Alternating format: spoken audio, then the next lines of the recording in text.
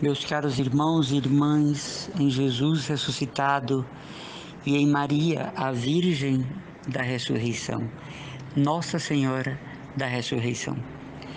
O Evangelho nos conta que no dia seguinte à morte de Jesus, ainda antes do raiar da aurora, caminhavam para o divino sepulcro aquelas mulheres corajosas, Maria Madalena, Maria mãe de Tiago, Joana de Cussa e Salomé, para ungir, embalsamar o corpo de Jesus. E quando caminhavam em silêncio, guardando seus aromas, se perguntavam no caminho: Mas quem vai rolar pedra para nós? E isto tem um significado profundo que eu já explico. E quando eles chegam, quando elas chegam ali, naquele santo lugar, um susto tremendo se apodera delas.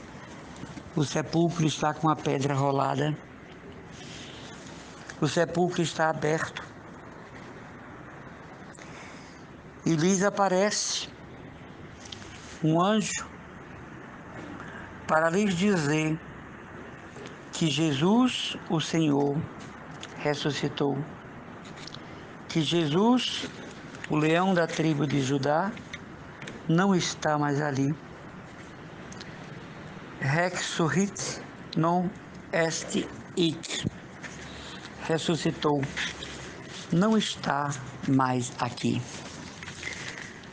Quando nós somos batizados e o sacerdote derrama a água lustral do batismo sobre a nossa cabeça, acontece em nós um fenômeno também parecido.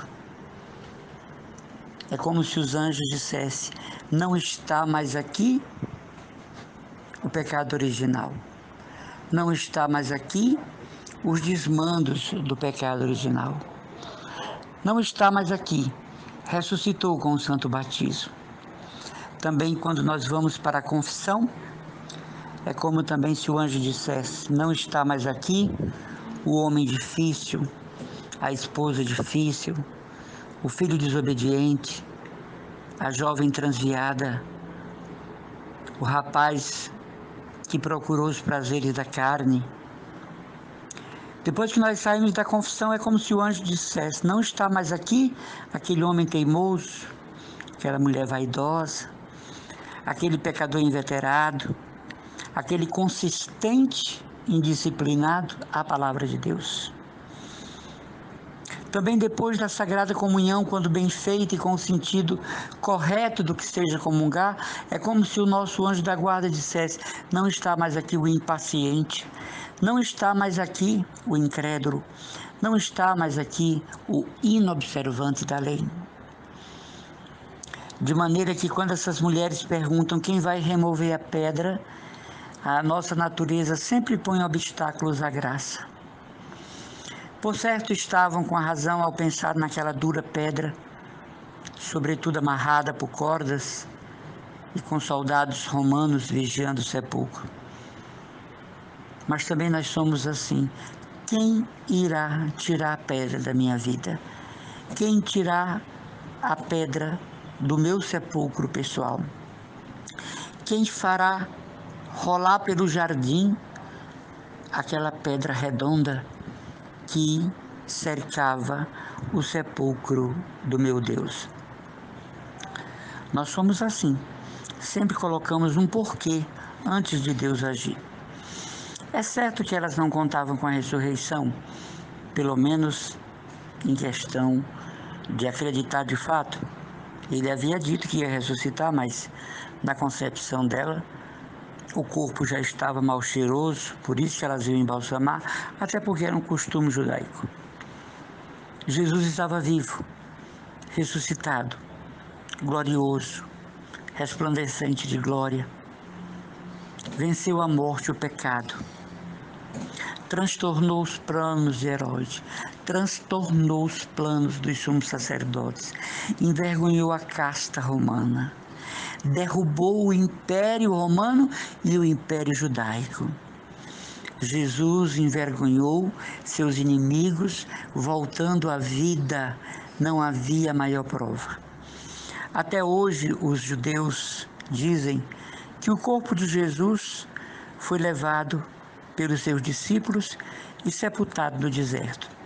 Ora, como teriam feito isso com a guarda romana de plantão?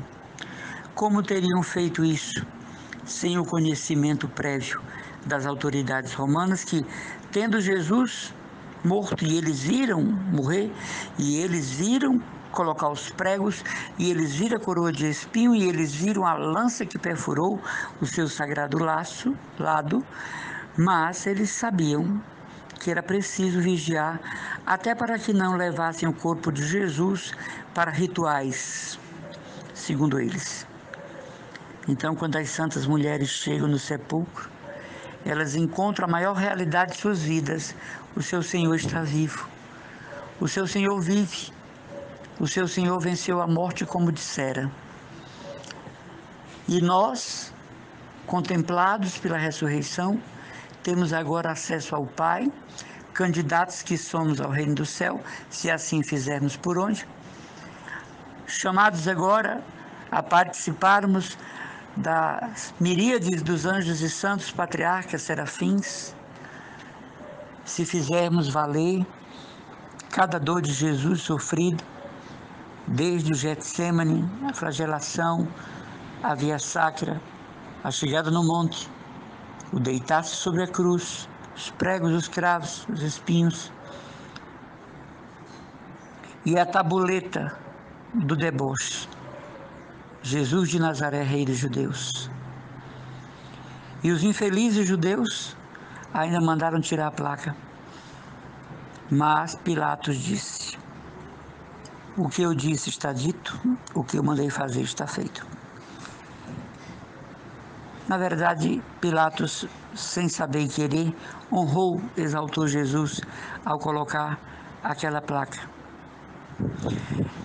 Estamos na oitava da Páscoa, terceira, melhor dizendo, terça-feira da oitava da Páscoa. É possível que você mande um cartão, um, uma mensagem no WhatsApp para alguém desejando Páscoa e a pessoa do outro lado ache graça de você. Porque para elas, como para os judeus, a Páscoa foi ontem. Se você conversar com um judeu, hoje não é mais Páscoa judaica, foi ontem. E véspera de sábado. Para o cristão, a nossa Páscoa tem um sabor perpétuo. Não só na liturgia que vai até Pentecostes, mas o ano inteiro.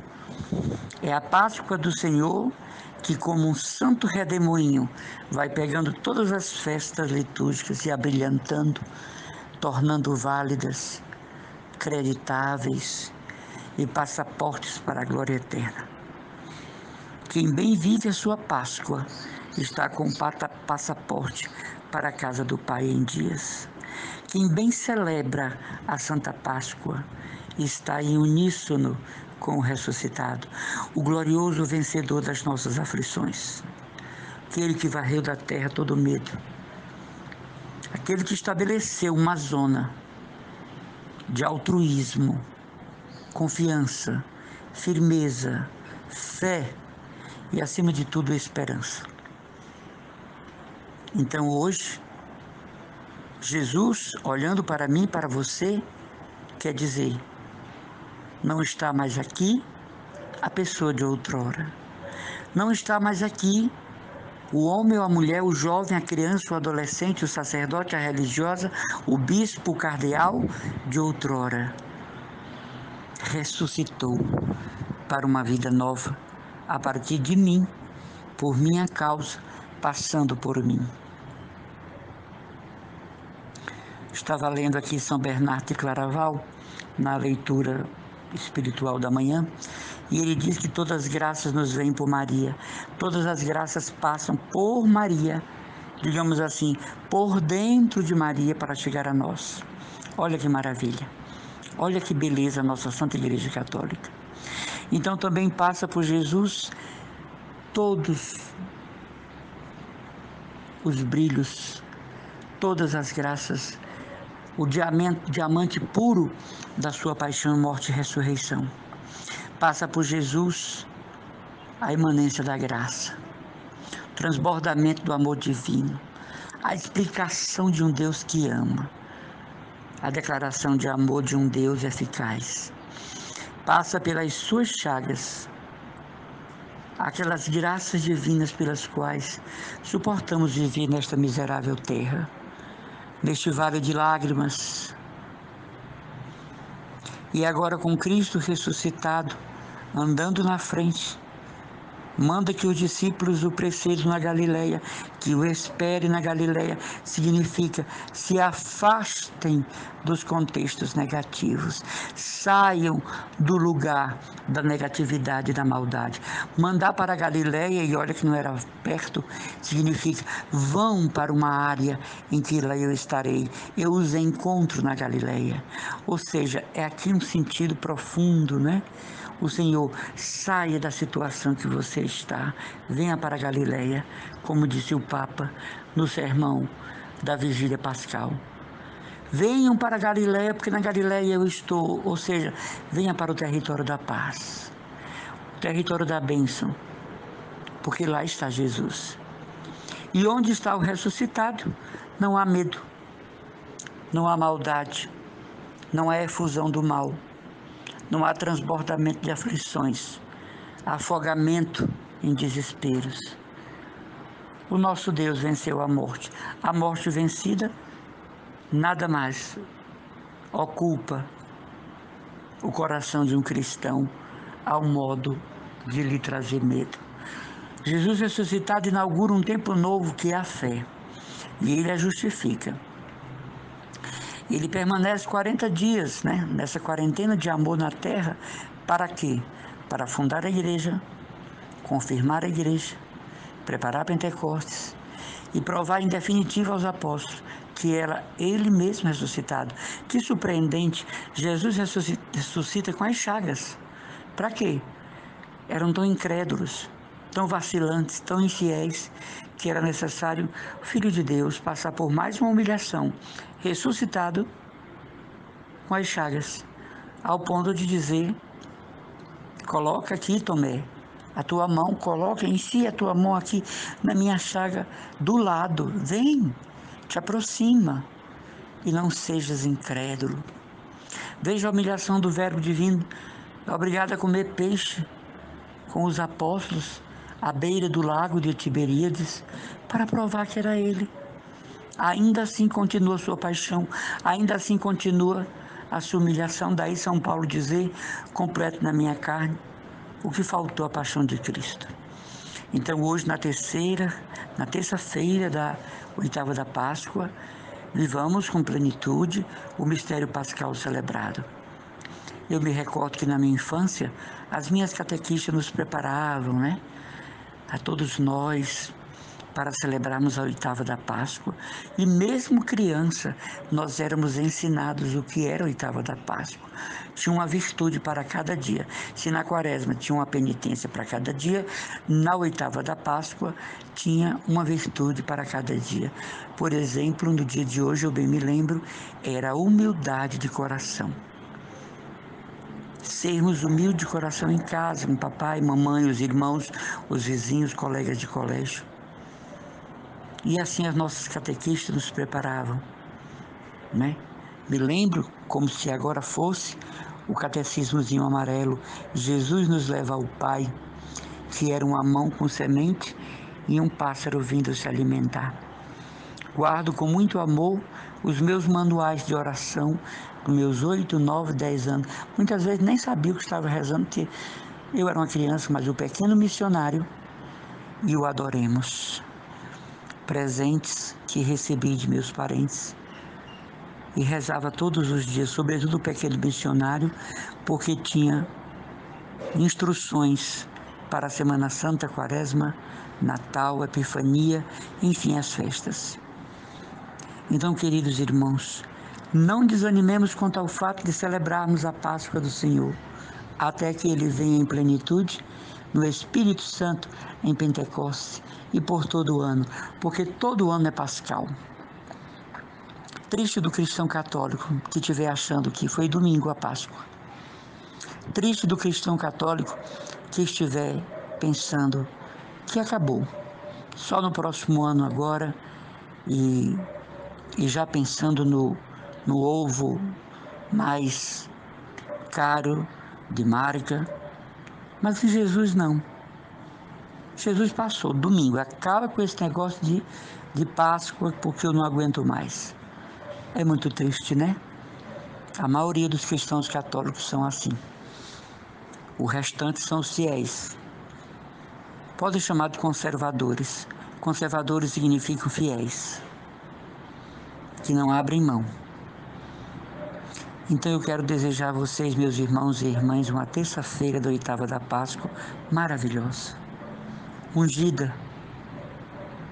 E como o anjo disse para as mulheres: ressuscitou, não está mais aqui. Jesus olhe para você hoje e diga: ressuscitou, não está mais aqui. Aquela pessoa tão difícil antes da Páscoa, tão indesejável antes da Páscoa, tão desagradável à igreja antes da Páscoa. Ressuscitou, não está mais aqui. Que isso ecoe nos nossos ouvidos, que isso fique o dia inteiro, amanhã, depois. Não está mais aqui o homem e a mulher que eu era antes do meu Senhor ressuscitar. Abençoada seja a sua vida.